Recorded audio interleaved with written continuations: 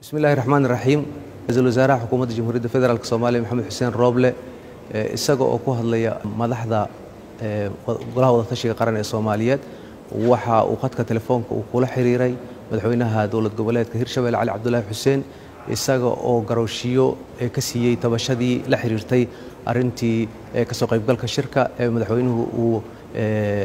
ka hadlay ra'iisul wasaaraha xukuumadda jamhuuriyadda federaalk soomaaliya insha allah waxa uu maanta shir guddoominaya shirkii oo madaxdu ay wada joogaan muqdisho marka laga reebo madaxweyne guudlaawo ka maqan shirkaasna insha allah waxaa layska wareysan doonaa oo laga arrinsan doonaa arrimihii bisha ah muddada bisha ahayd howlihii qabsoomay iyo waxa aan qabsoomin iyo waxa hore loogu soconayo. Ra'iisul wasaaraha xukuumadda jamhuuriyadda federaalk soomaaliya maxamed xuseen roble waxaa ka go-an in uu had iyo jeer isu keeno oo qof kasta oo maaragtay tabasho qabaa uu la fariisto geed gaaban iyo geed dheer u fulo sidii ummadda soomaliya la isugu keeni lahaa isla markaana dalkan doorasho uu aadi lahaa ra'iisul wasaarahana maaragtay arrintaasi muhiim gaara iyo muhiimad gaara ay u leedahay. Insha allah shirkiina maanta waa uu bilaabanaya madaxda oo dhan way ka soo wada qaybgalaysaa madaxweyne guudlaawna waxa uu kaga soo qaybgeli doonaa khadka